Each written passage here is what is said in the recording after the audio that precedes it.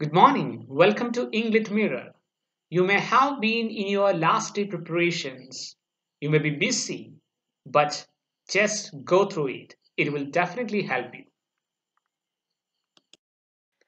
If you are running the last lap of your race for UGC NTA NET, do watch this video.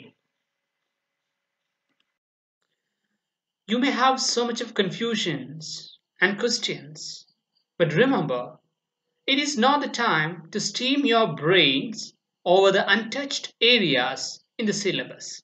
Rather, it is the right time for revision.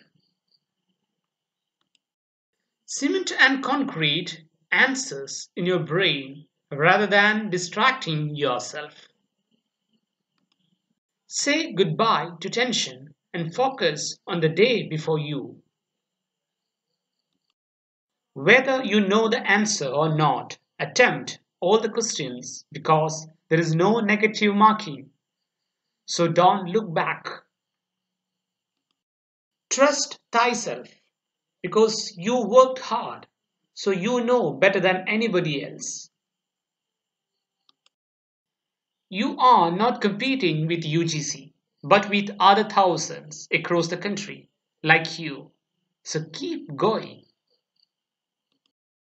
What you know matters than what you don't know. You have invested your time, so your time guides you. And the Da Vinci Code of objective exam is omitting possible wrong answers enhances the chance of falling above the cutoff mark. So remember, selecting the right one is also equal to leaving the wrong answers. Thank you for watching this.